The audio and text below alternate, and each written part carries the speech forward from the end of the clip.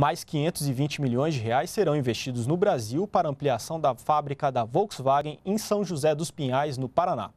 O anúncio foi feito hoje pelo presidente da empresa durante reunião com a presidenta Dilma Rousseff no Palácio do Planalto. Com esses recursos, a Volkswagen vai investir cerca de 9 bilhões de reais no Brasil até 2016.